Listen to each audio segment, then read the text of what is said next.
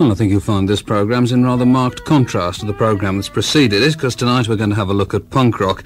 Mind you, no two people seem to be able to agree exactly what punk rock is, as is evidenced by the fact that someone's been phoning us off and on during the day and trying to convince us that our guests tonight, The Damned, are not a punk rock band, and uh, punk rock fairly clearly means something entirely different to Americans. Anyway, we'll hear a lot of music that may be punk rock and a lot that certainly is. We'll start with The Damned. Off you go and play, boys. All right, Dad. I'll chase.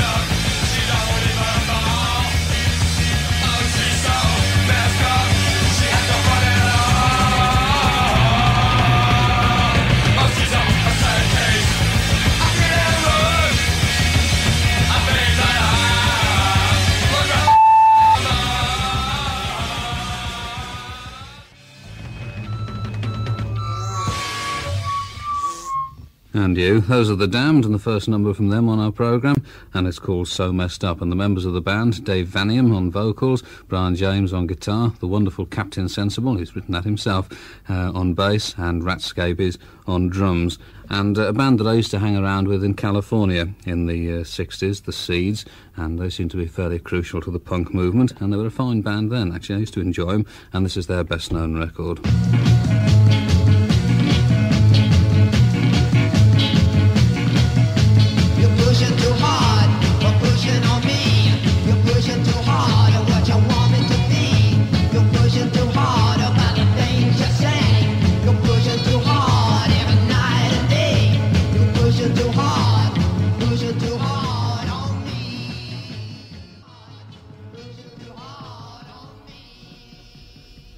And those are the seeds with pushing too hard from uh, about 1966, I would estimate.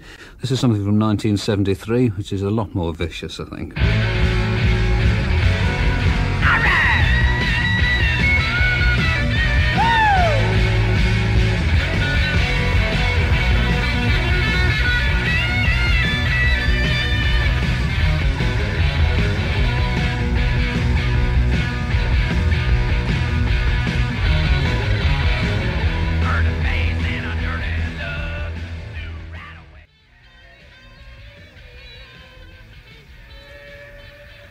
And if this had been a two-hour programme, we'd probably have played you something from the LP Metallic KO, which is uh, not easy to get hold of, but if you do, you'll find uh, this one of the most uncompromising LPs that you've ever heard, I think. Iggy Pop and the Stooges from the 1973 LP Raw Power, and that's Your Pretty Faces Going to Hell. And people would argue, I think, whether Eddie and the Hot Rods are actually uh, a punk rock band. The fact that they've achieved some sort of success would probably disqualify them in the eyes of several people, but they're on the front of the current issue of Sniffing Glue, and that's enough for me.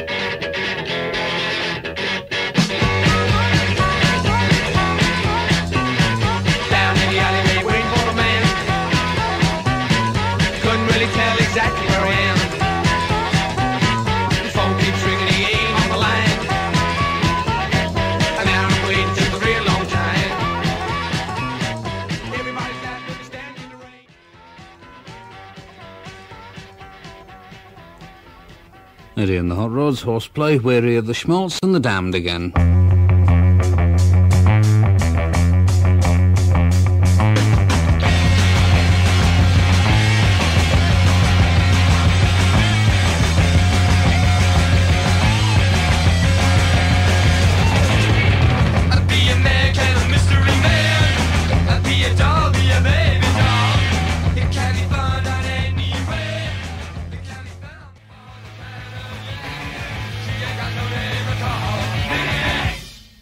Damned, and that's called Neat, Neat, Neat. And uh, we'll have a look at some of the New York music now. This is Richard Hell from an EP which is available in a limited edition on the Stiff label, not surprisingly, uh, in Britain. And Richard Hell previously with Television and the Heartbreakers, and now with his band Voidoids. This is I Belong to the Blank Generation.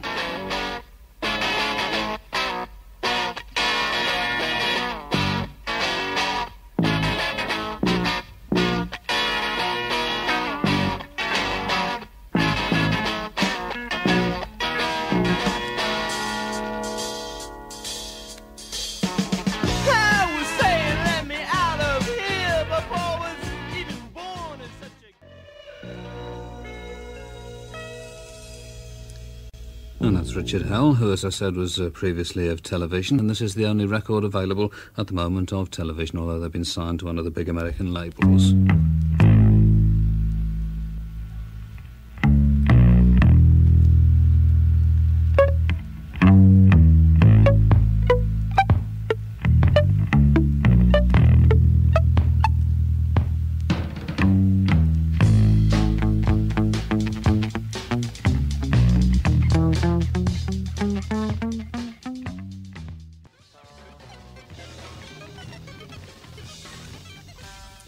And that's part one of Little Johnny Jewel by television, and I've already played you several tracks from the double LP live at CBGB on previous programmes, CBGBs I mean, and uh, most of it actually, frankly, a bit dull, but uh, the Tuff Darts aren't too bad at all, and this is one of the numbers that they contribute to the LP. It's called Slash.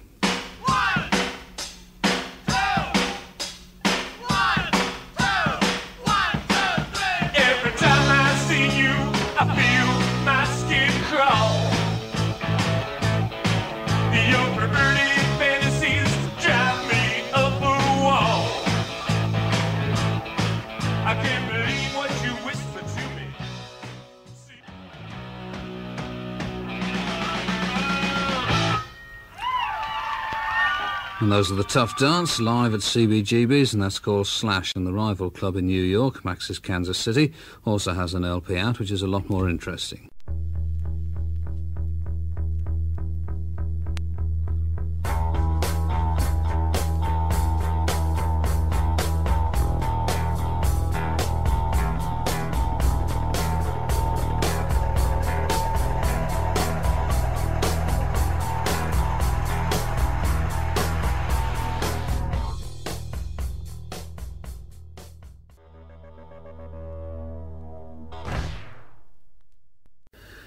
That's Pere Ubu from the LP Max's Kansas City, and uh, it's always good, I think, when you find papers at both ends of the uh, newspaper spectrum violently opposed to any form of music. They used to do it in the days of the Rolling Stones and The Who, and they used to do it in the days of Elvis Presley and Bill Haley as well.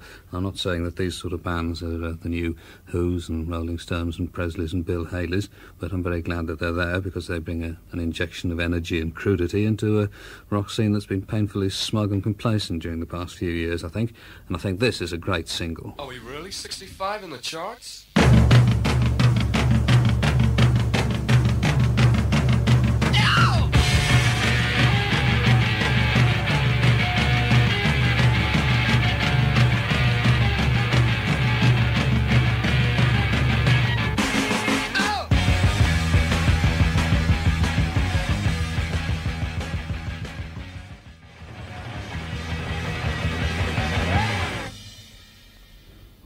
The Damned, and that's New Rose, which is their, as you know, their debut and current single, and uh, that's uh, their version that they recorded for us. A session produced by Jeff Griffin, incidentally, who seems to have caught the spirit of it fairly well.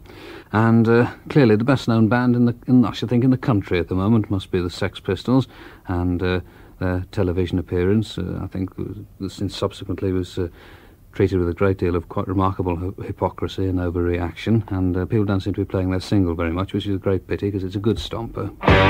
I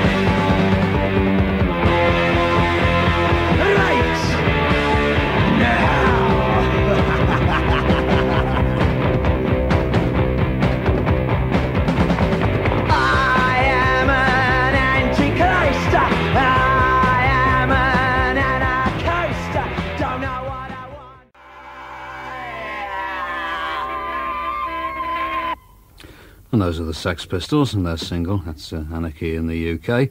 And going back to Max's Kansas City and the LP, and the best band on it, I think, are The Fast.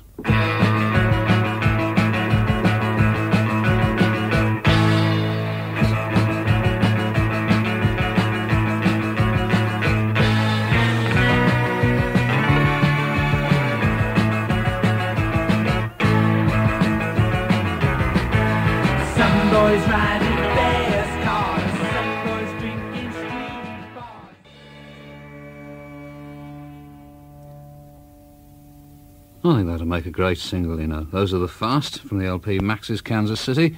Boys Will Be Boys, the strong overtones of uh, The Who. And also, I think, of the Easybeats Friday on my mind, actually. While we're in New York.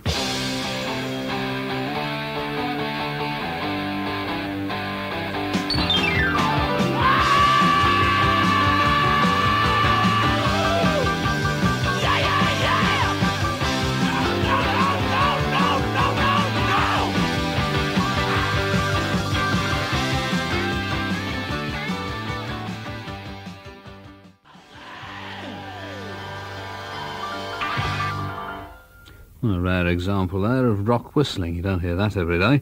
Those are the New York Dolls from 1973 and uh, Personality Crisis.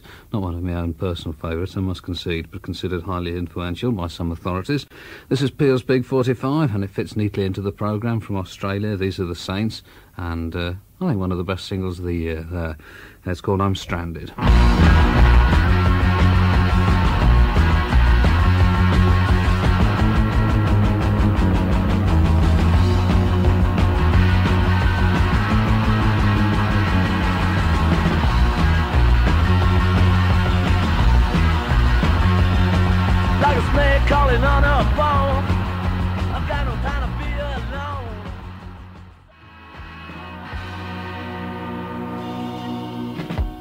The Saints, and that's Stranded, and uh, or I'm Stranded to be exactly accurate. And uh, I'm told I've been telling you all week actually that that record's now in the shops, and I've been advised today that it isn't actually yet, but it will be at the beginning of next week, and it's Peel's Big 45, no matter what. And this is the last from the Damned.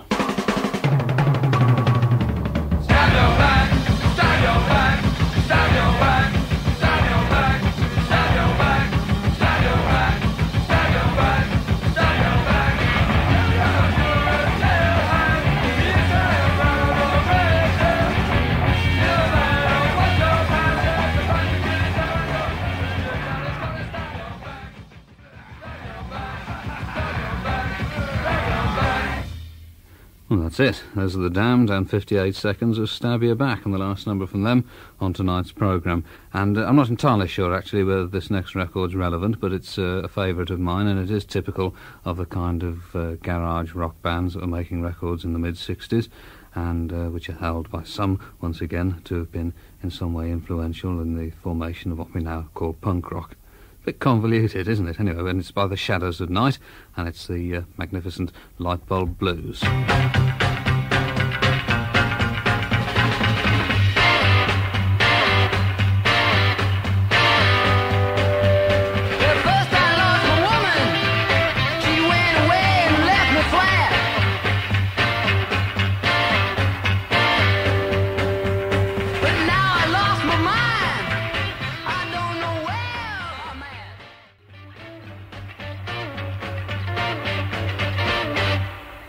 And what a great record that is. The Shadows of Knight and uh, Lightbulb Blues. And the first time I played a record on the radio by the Ramones, I got a fair number of abusive letters and cards about it. Now people seem to regard them as being pretty tame. This one's for you hot doggers out there. Hey, Tim. What's that, that,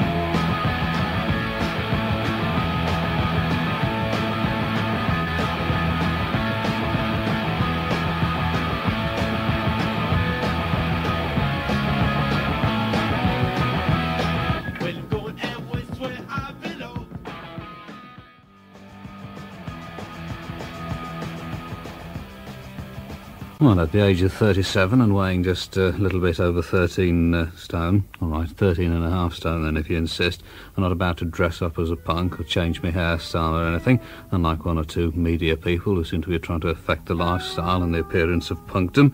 But uh, I'm very grateful to the bands and the people who make the music, or most of them anyway, for the excitement and heated debate and general bewilderment they've brought back to the rock scene. And it's been long missed and sorely missed, I think. Anyway, that's the end of tonight's programme, and our thanks to the Damned for their session. Uh, what have we got for you tomorrow? Well, Kid Jensen at 10 o'clock from 10 till mid, uh, midday, and they said 10 till midnight, which would be a long programme. Tomorrow he's going to be playing the very best of contemporary music, it says here, and I do know that he'll be playing quite a few tracks from the new triple LP of Wings Live over America. And then speaking of America, from 12 till 1.30, it's Paul Gambaccini with the best-selling pop and soul records from the American charts, plus a rundown of the US top 30. Uh, from 1.30 to 2.30, Linda Ronstadt's Top 12, which is introduced by Brian Matthew, as always. 2.30 to 5.30, it's Alan Freeman, and I think this week they may possibly run our trail, I don't know. Wilson seems to be a little frightened of them these days, and he is going to be playing side one of the new Genesis album, Wind and Wuthering. 5.30 to 6.30, it's rock and roll, introduced by Stuart Coleman, and this week's studio guests, the Pirates, and a highly praised session that, well worth listening to. And then, as if this were not enough, 6.30 to 7.30, Alan Black introduces Loudon Wainwright III in concert. Another great Saturday. Have a good weekend.